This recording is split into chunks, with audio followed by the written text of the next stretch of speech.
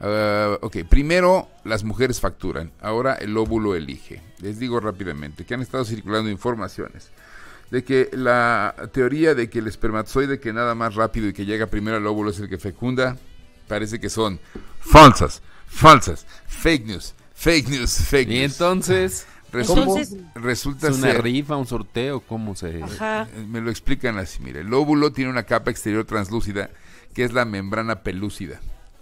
Así se llama, pelúcida.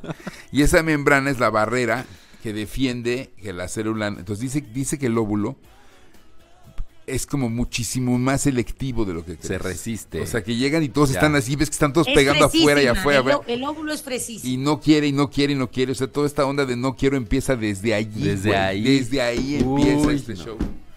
Desde ahí empieza este show. No, no. Pues, no. Sí, a menos que choques contra una pared de látex, este show puede empezar.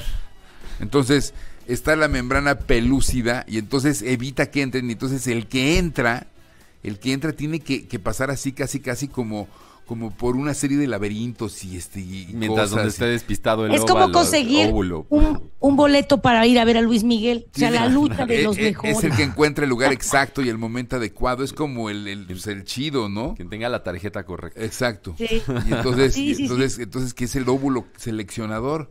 O sea, ahora resulta ser que hemos vivido con el mito de, de el que llegue primero gana. Y no. Parece que el que llega primero se muere. O sea, que el que llega primero más estampa y ya los de otros llegan y qué onda, qué onda, qué onda. Ya igual ya abollado, ya es más fácil entrar por ahí. Sí me No sabemos sí las características que ¿eh? Ah, tiene mira. cada. Sí me identifico, que lo primero que hice fue entrar en una cosa de esas. Dije, aquí estoy, ya, Ya ya, gané, ya gané, ya estoy. Oh, yo recuerdo todo eso también. Ahora dice la fecundación. Entonces, este, entonces sí, ahora las mujeres facturan, ahora el óvulo elige. Pues siempre ha sido así, menos machismo, menos machismo. Hemos vivido bajo un machismo.